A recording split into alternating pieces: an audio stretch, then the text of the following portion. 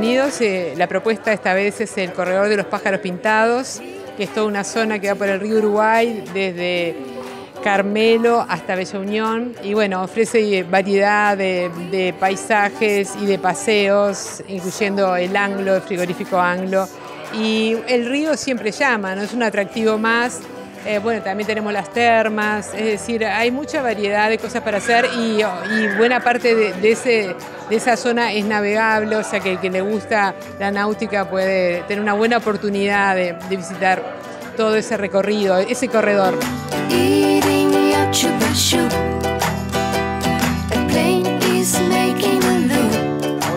La gente que compre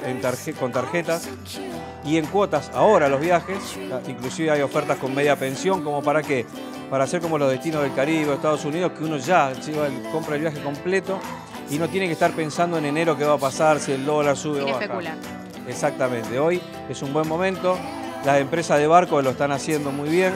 eh, vendiendo en cuotas, pues, con la posibilidad de llevar el auto desde Buenos Aires eh, y también con media pensión, hotelería y demás, que eso va a beneficiar bastante al turista argentino, que lo va a poder pagar bueno, con el plástico y diferido.